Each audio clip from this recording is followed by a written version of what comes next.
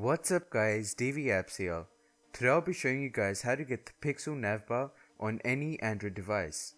The Google Pixel came out with a brand new launcher, which isn't available on any device, and the Pixel launcher also, com also comes with a navbar, which is exclusive to the Pixel. Today I'll be showing you an app which can give you that navbar without even having to root your phone. So firstly just open up the Play Store, and then search for Pixel navbar, and then it will be the first one, so just go ahead and install that.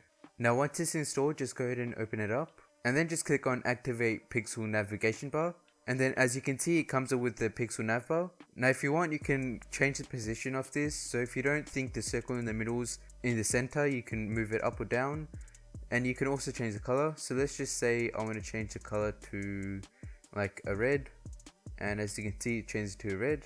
But I'll just leave it as a white. And you also get the animations with this. So as you can see if I press and hold for Google Now, it does this little animation which the actual Pixel navbar does. And also if I just click on the home button, it also does that animation. That's all for this video, make sure to like, comment and subscribe.